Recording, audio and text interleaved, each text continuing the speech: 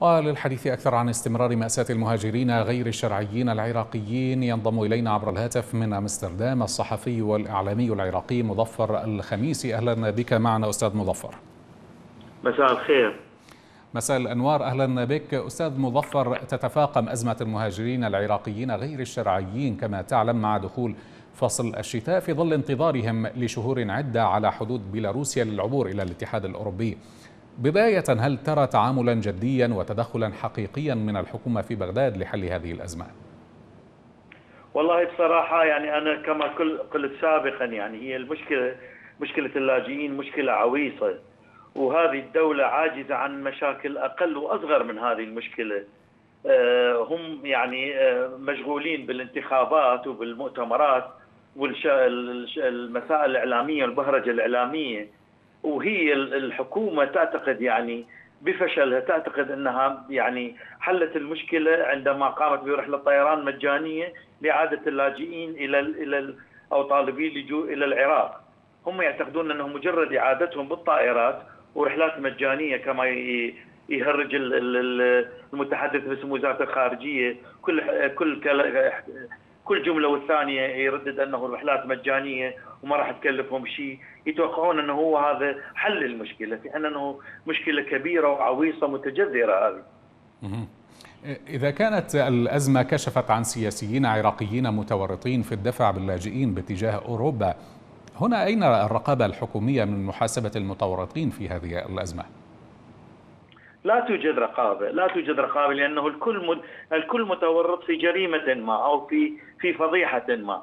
آه هذا الجزء من السياسيين متورطين بهذه الجريمة، سياسيين آخرين متورطين بج... بفضيحة تزوير الشهادات، سياسيين آخرين متورطين بالرشاوي وبالفساد، الكل الكل يضمضم للكل والكل يدافع عن الكل، لا يوجد هناك حساب، من يسمى سياسيين كل من يدافع عن عن جماعته وعن أصدقائه وراح تتطقم الشغلة يعني يعني إذا كان هناك تقاعس من الحكومة لمحاسبة المسؤولين عن هذا الأمر، هل تظن أن الاتحاد الأوروبي يعني سوف لا يلقي بالا لهذه المسؤولية لدى يعني بالتسبب في يعني دفع المهاجرين على حدودها، هل تظن أن الاتحاد الأوروبي لربما بصدد معاقبة هؤلاء المسؤولين؟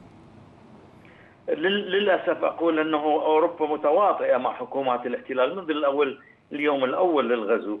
يعني هم متواطئين. الحكومات الأوروبية تغطي على جرائم الحكومات وتنكيلها بالشعب العراقي. ويعني سكوتها عن عن قتل عن قتل الشباب العراقي اللي موجود اللي خرج ثائر ضد ضد الفساد وضد حكومات الاحتلال. سكوتهم عن القتل وعن القمع وعن الفساد راح يمررون هذه الجريمة للحكومة المنطقة الخضراء.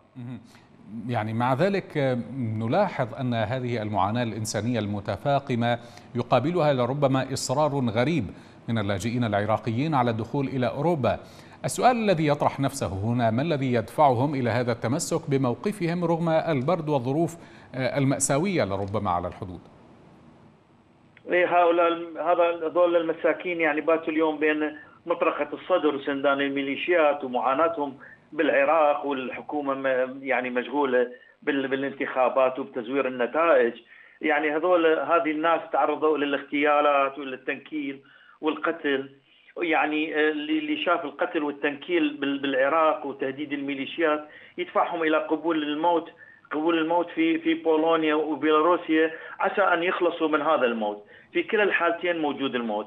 لكن هناك فرصة على الحدود البولندية أنه قد يكون أنه يرشح أحد منهم أو عائلة أو عائلتين تذهب إلى أوروبا وإلى الحرية وإلى الخلاص من الموت الموجود بالعراق.